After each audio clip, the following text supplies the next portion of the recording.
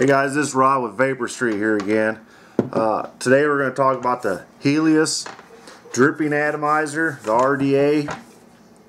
Remember the other the other video I made? I had the Meraxes here, and I had the the uh, RDA on there, the Helios. So anyway, like I say, I got this all Fast Tech here. It's real cheap. I've been watching other reviews on it. I know it's been out for a little while. I was watching other reviews on it where they were saying that it uh, adjustable airflow didn't work. Well, mine's got the adjustable airflow ring right here. I got it on the one and a little over, one and a little over. But mine, the ring does adjust. I mean, I don't, I don't know why the other people's didn't or not, but my airflow ring does adjust. And what I did is I know it does only come with two air holes on this one side right here. So what I did is I drilled another air hole on this side because this is set up where you do dual coils and I really like the airflow to come on come on both sides. You know, get get more uh, production. But like I say, you just another thing I like about this is this cap. You just unscrew this cap right here. It's got a screw screw on cap like that. So you can see the top, the coil, or the posts and stuff in there. But you can adjust this, and what I like about this, you use that cap to lock it in place. You loosen it up, so you can adjust the adjust the ring here. You can go none, you know, two, one, none, however you want. Like I say, I got adjusted for, I got the air hole on the other side. I drilled it out. It is kind of a little bit harder to drill these than some of the other ones I've done. So actually that makes me kind of happy that it's more durable, you know. But anyway, you put that where you want, and then you just screw that down tight, and it'll lock it in place for you, so you don't have to worry about it constantly adjusting the airflow for you. So now it's locked in there. I mean, you can't beat that. I like that. You know, I don't have to sit there and constantly, oh shoot, my freaking ring just adjusted on me. Now I lost the airflow. So I like that part on it. Yeah.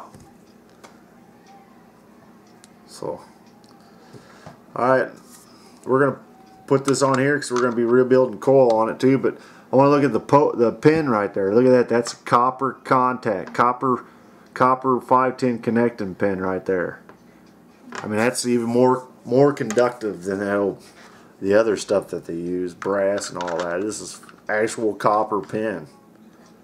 I mean, that's pretty good. I mean, this thing pretty cheap on Fast Tech. Now, like I say, this right here, I like this too. Look at that.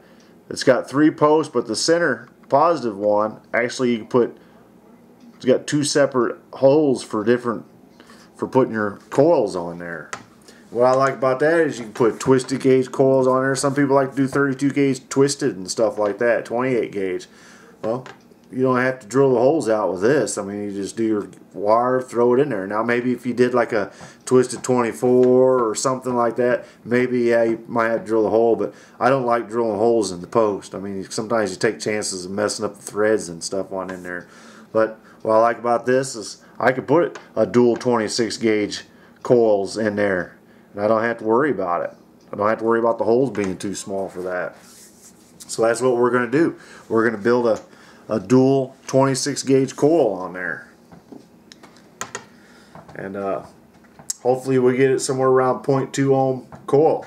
I mean, you don't have to have a, a lot of different, I know a lot of people, you know, build a bunch of different coils trying to get uh, clouds and stuff. And I mean, all you really need is basic setup.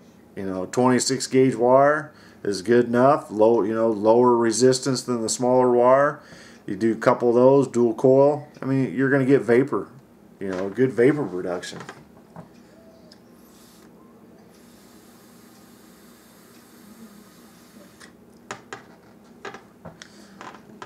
So,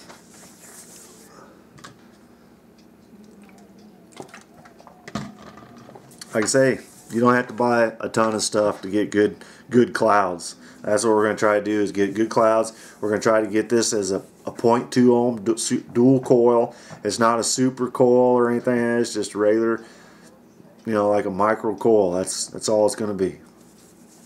We're going to wrap the 26 gauge right here. we got the 26 gauge right there.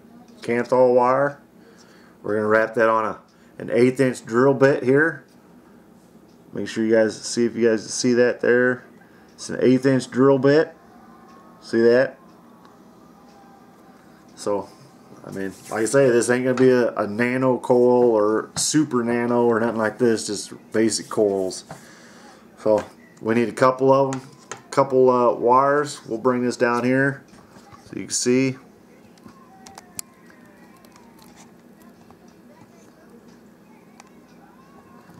There we go. We got it right there. Did a couple 20, couple two inch uh, pieces of Kanthal wire here. I don't like to use the bent ends because they wind up getting hard to get in there.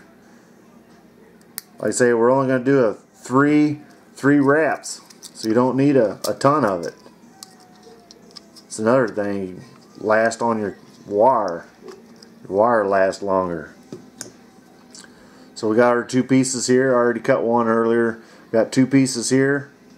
So all we're going to do is put it on the drill bit like that so. Do three over top, two underneath. So one, two, three. That's all you need right there. That's it.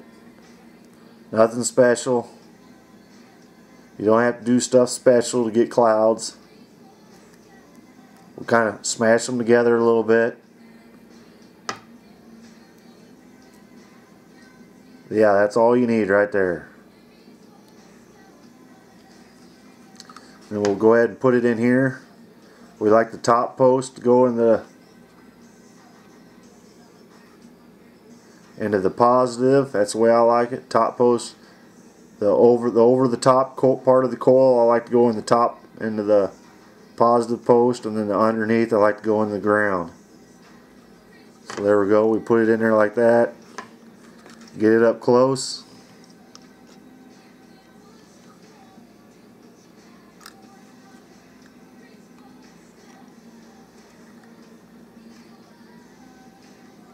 Like I say, don't have to be nothing fancy.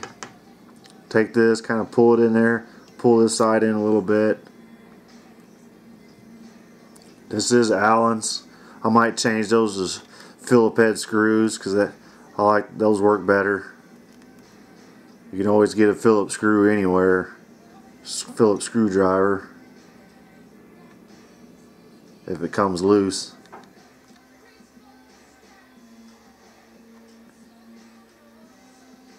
Don't want to over tighten it.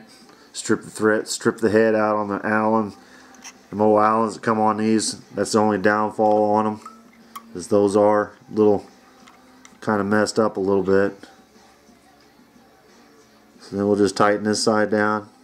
The positive post.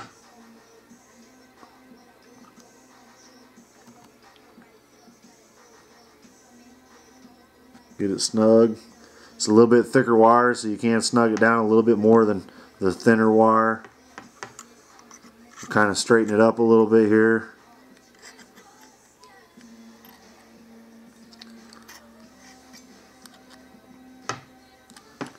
Kind of give it a little squeeze, kind of bring that coil away from the wall.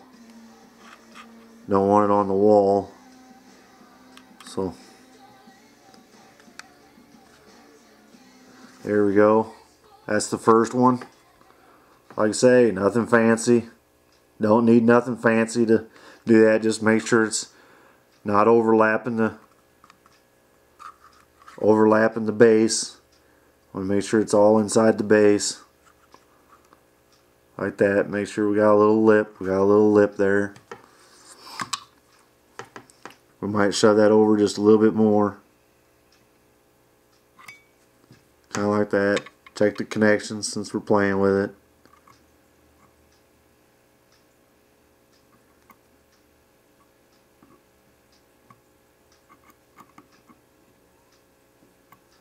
Alright, so that's the first one.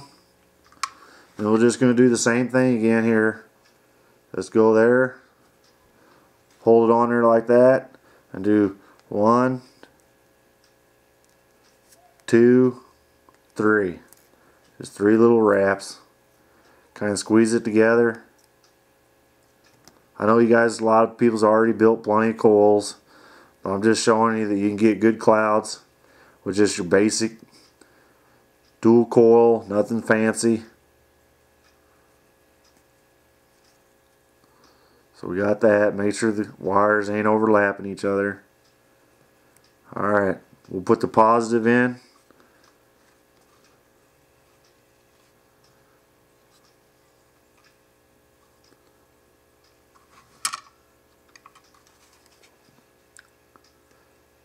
Positive in first, over the top, like the other one. You always want to make sure you wrap the coils exactly the same way both times. That way you can get your positive at the the over the over the top wire being your positive every time. Tighten the positive post down. Just kind of snug it a little. Get the negative post where you want it. snug it down. Then we can kind of look at it and make sure it's right. Alright. Kind of just look at it. Alright, looks alright. It's pretty good. Now we're going to tighten it all the way. Like I say, you want to get them pretty tight.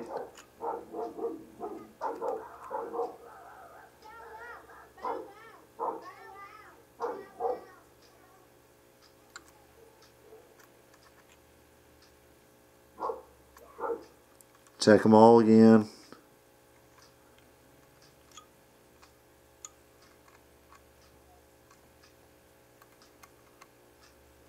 Alright, I think they're all nice and tight now. We'll go ahead and move this coil over a little bit too. Kind of get it where we want it, get it away from the wall.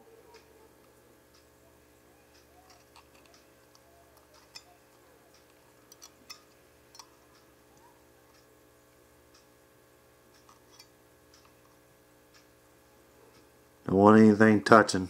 That looks pretty good there. Go ahead and do the other side, get a little more in the center. Kind of squeeze them up a little.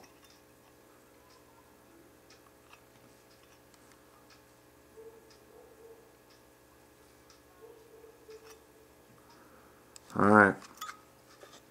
I think we got it there.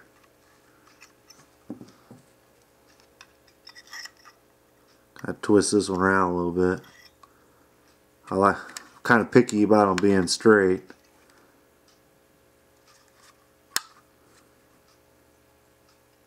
That looks pretty good. So there we go. Messed with it again. I like to check the connections.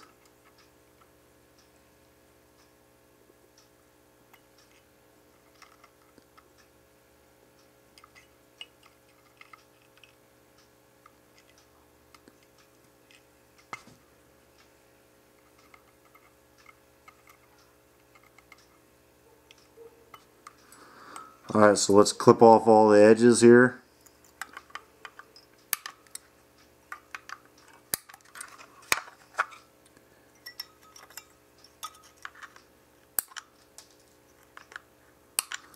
Alright, so let's check the resistance. Should be somewhere around 0.2. Yeah, see, 0.2. 0.2 ohm coils. Alright.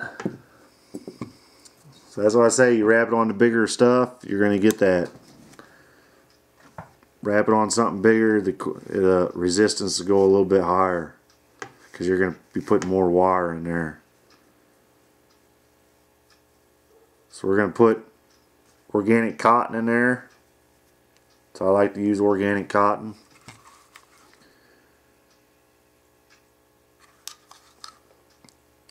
Push that through there. Pull it through. I like to get it to a little bit of a thick area. Pull it through to the thick area. Alright, now we're just going to take, tuck this up underneath it right here. Just tuck this up underneath it. Like that. Trim this off.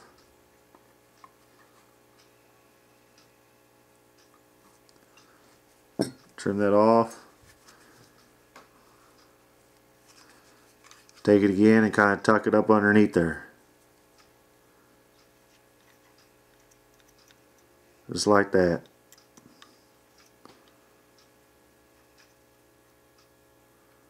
That's all there is to it. Take another piece.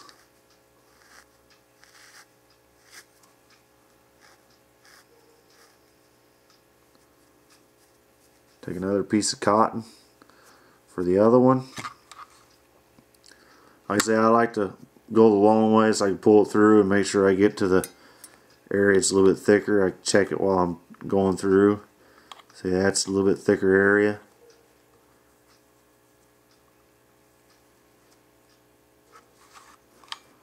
There we go. We'll take this and tuck this up underneath there.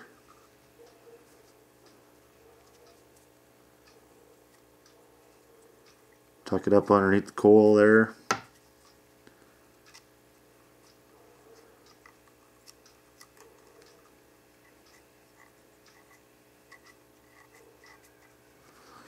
Alright, and then we'll take cut this part off. We don't need all of it.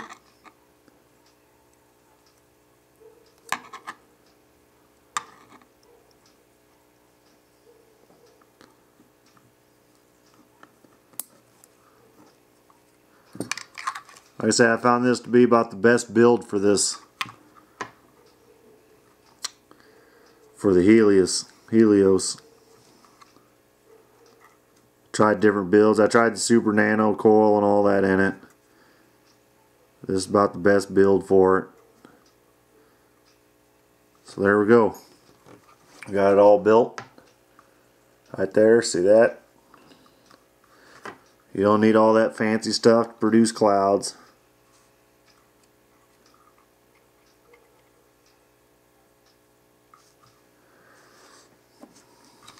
We get Get it all wet.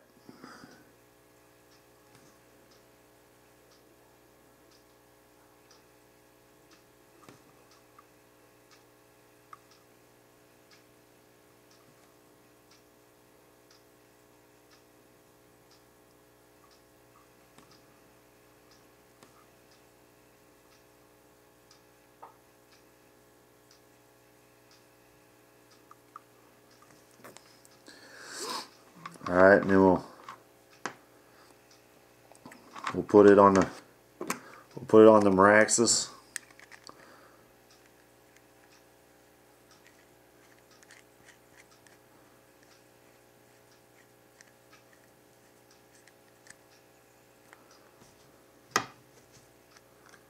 Like I say, we we are going to be using a the Efest 35 amp battery.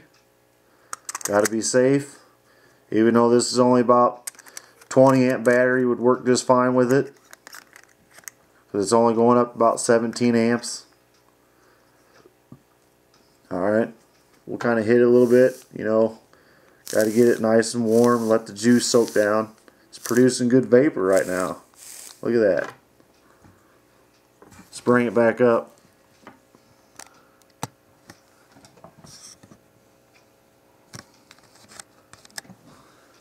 Like I say, you produce good vapor. Just normal stuff. You don't have to have all that fancy stuff. Put some more juice on it.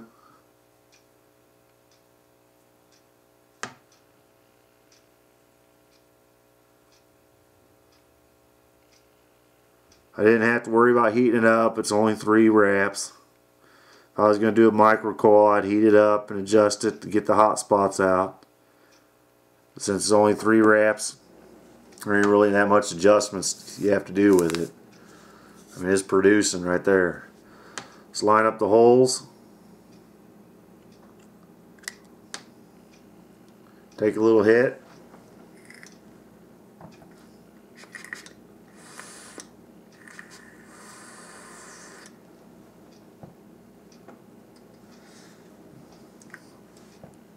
Like I say, that's a pretty thick, pretty thick uh, vapor there. It was a pretty good cloud.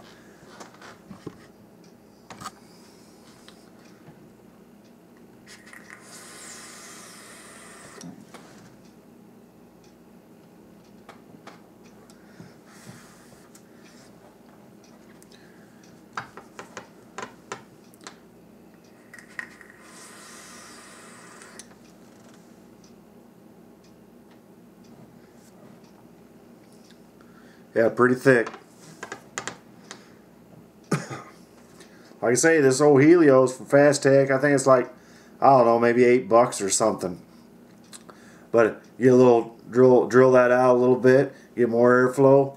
You build yourself any coil you want. You use bigger gauge wire. That's why that's one of the main reasons why I like it. You adjust the airflow if you don't want. If you only want a single coil, you only got to do one. You don't have to drill the hole or anything in it.